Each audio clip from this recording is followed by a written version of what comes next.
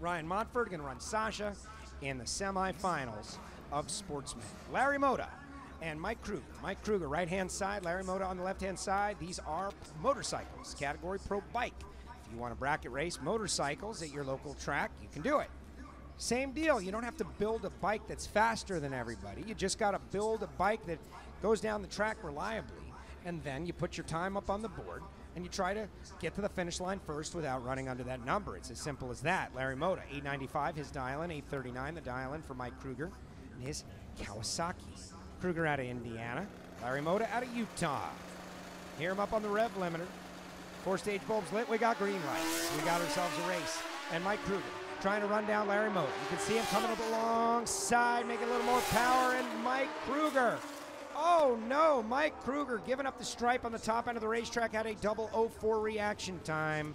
Larry Moda, 027 goes 9009 at 145 by nine thousandths of a second.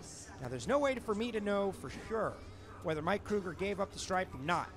But that nine thou win margin going to the left side is indicative of it. Maybe his bike just did not run the number because of problems we do not know, but nine thou seems unlikely. Cody Couch and Bob Carlson. Bob Carlson, left side, 868, 827 the dial for Cody. Cody over there on the Auto Club side.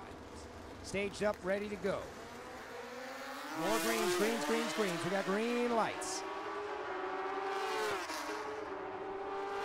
Better to two reaction times in 026, but the win light coming on for Cody Couch. One over 828.5 on 154 with an 083 reaction time.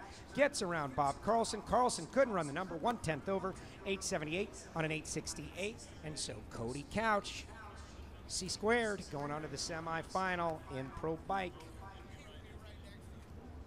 Jason Clampett, Paul Holman. Holman over there on the Auto Club side. Jason Clampett out of Circle Pines, Minnesota. D5, 933, running an 1108 bike exactly.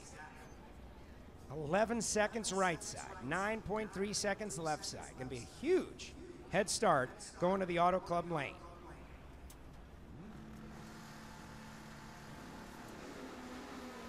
One hippopotamus, two hippopotamus, three hippopotamus, and there we go. Jason Clamp getting after it. Look at Paul Holman, way out there, running as quick and fast as he possibly can. But here comes Jason Clampett, and Jason Clampett gets him by 065, wins the race. 034 reaction time goes 942.8 at 129.28. Jason Clampett knocks out Paul Holman. Paul had an 029 reaction time, better of the two, but Jason Clampett taking the win. Final pair, Pro Bike, Summit Racing Equipment, Bracket World Championships. Dennis Stewart, Jim Weir. Jim Weir, right side, Renton, Washington, right by Pacific Raceways.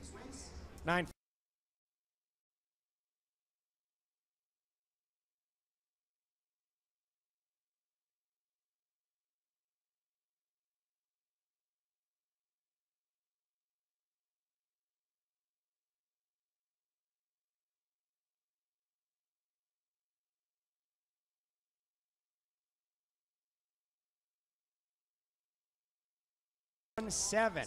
958 with a seven on a 958 dialing. Wins the race. Jim Weir moving on to the semifinal round.